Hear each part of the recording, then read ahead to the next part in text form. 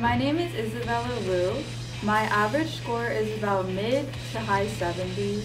I've been playing golf about two years, and some of the pros in my game is I can do really well for the first nine, or but under pressure I tend to really mess up. So today I want to try to learn what I can do under pressure. Yeah, absolutely, Bella. Um, glad to have you here, number one. And number two, we're going to talk about what happens when you get a little bit of pressure in tournaments, okay? Bella, have you struggled with um, with your grip pressure as, as, things get more intense out on the golf course or in the round? Yeah, I sometimes I really tighten up and that affects my golf swing. Absolutely. You're not alone. Whether you're an amateur or whether you're at the highest level of golf, grip pressure is very important to understand. So today we're going to cover that, okay, and how, how to really kind of understand what's going on with the hands when we get a little bit nervous or when, you know, just throughout the round we tend to forget about it. Um, during my career here, I get all the time, and I hear this from other professionals as well. What, from one to ten, what scale of grip pressure do you hold a club? Well, uh, Bella, we're never gonna. I'm never a big fan of that. One to ten is really hard to explain when it comes to, you know, from coach to coach. So, not saying that it's wrong, but for me, my preference is understanding that when we hold a club. So let's go ahead and take your grip on, on the club here for a second. Let me see your grip. So as we look face on here, let's have you face forward here. As we go ahead and take off the right hand here, okay? And let's slowly open up this left hand here. As you can see here, she's got the club in her fingers, and most of it right now is being held by the three bottom fingers. So as you can see that the, the trigger finger and the thumb are basically just sitting up here. I'm a huge component of understanding the hand and how it works. So if, if you don't mind, I'm going to borrow your club here for a second. Though. As you look at my hand here, okay, I've been holding this club for over 20 years, so I, I've gotten used to it. But when I start out with students, they usually tend to put the grip in their palm too much, and that becomes, you lose mobility in the wrist. You lose mobility from your shoulders down to the elbows, okay? So the first thing I look at, and we look at here at Epic Studios when we are looking at a grip, is understanding where that club is sitting in the hand because there's nothing more important than having the proper grip. That is the only thing that connects our club to our body. It's our hands that really manipulate what happens to that club face. So again, I cannot emphasize here at Epic Studios, if you do not have the basics, especially a grip pressure, a grip that's consistent and really good, not much we can do with your golf swing if you don't have the correct fundamentals down. So again, one more time, if you look at my hands here, I put it in my three fingers and you can absolutely see my whole palm here. The moment I do this with most juniors, they start shaking because they're not used to holding the club in the fingers, okay? Now Bella, go ahead and pull this club out of my hand. You try to pull it out of my hand, okay? So as I do this, I'm not thinking about a scale of 1 to 10 and how hard I'm holding this. Realistically, if you measured my tension on my three fingers here, probably a thousand. Again, really yank this. Not going anywhere.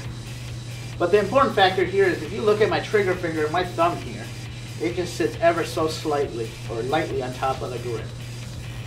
Again, let me emphasize, my trigger finger and my thumb are ever so lightly on the grip. Down here, I'm holding it for dear life because I don't want the club to disappear. See that? So now I do the same thing with the left hand here. Okay? Bottom three fingers, pointing finger and thumb are ever so lightly on the club. Now I combine those two, again the three fingers, which is a total of six fingers on the club, and then the top finger, meaning the trigger finger, and my thumb, the top of my hand, that's what I call the top of the hand, these two right here, sit ever so slightly on the club. Now look at this, I have so much mobility. So when you're out there, Bella, and you're in a pressure situation and you're trying to figure out, and correct me if I'm wrong, when you have to hit a shot, are you trying to find the right grip sometimes? Yeah. Absolutely. If you've never been in that situation, you wouldn't know what it's like. But that is the biggest thing. When you're getting over a shot you really need to hit a really important golf shot, I guarantee you're trying to figure out where that club is going to fit in the hand. So when that happens next time, I really want you to go back to what we're talking about today. Is go ahead and again the three fingers, and now for right now, just lightly hold it here, okay? And now put the other three fingers on the club. There you go. So the top thumb and the trigger finger here are sitting so slightly on the club and we can basically become windshield wipers. Look at that. That's awesome. Your wrists are fast. So the other key component of club head speed is gonna be having the right grip pressure. So let me watch you take a cut at it here.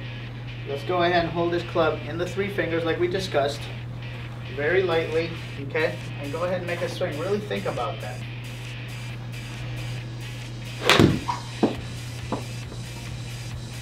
I mean, it doesn't get any better than that, folks.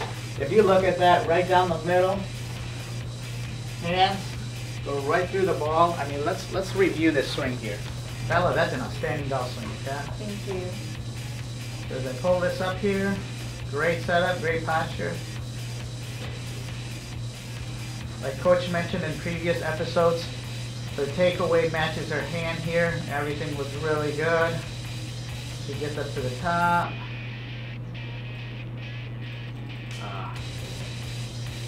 Oh my gosh, look at that. Matches the hands and, and the grip. Perfect. And that club just releases ever so nicely because of your grip pressure. So never underestimate the correct grip pressure in the club. Okay, folks? So Bella, let's go ahead and do this one more time.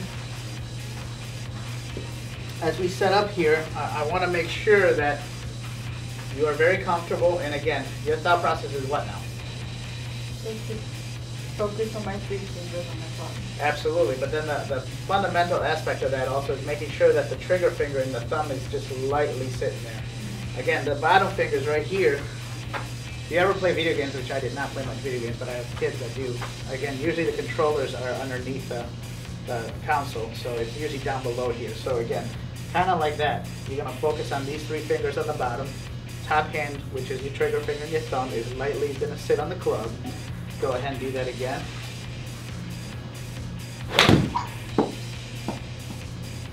Perfect.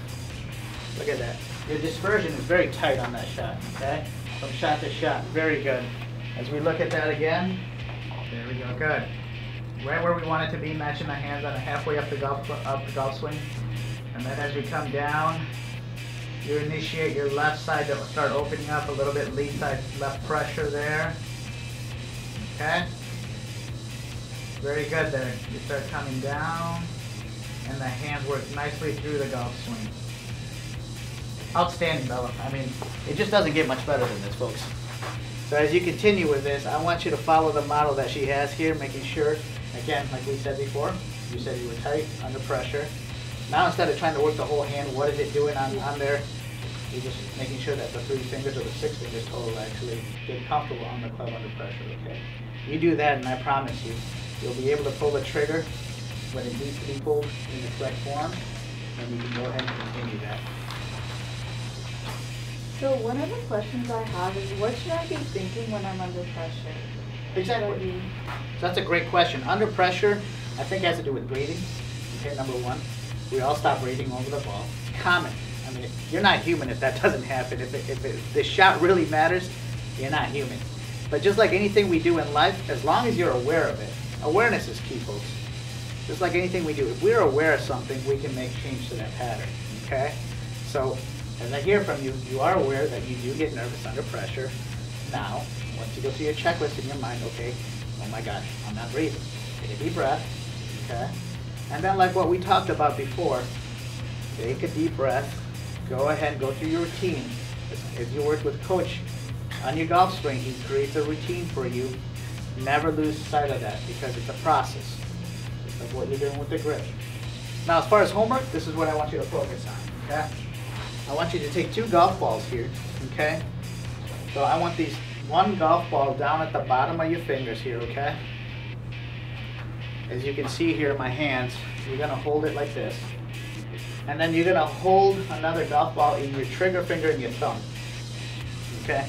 What that's gonna do is, what I want you to do is be able to hold onto the golf ball here at the bottom three fingers and be able to release the ball in the fingers and the thumb. And you're just gonna work on side on throws.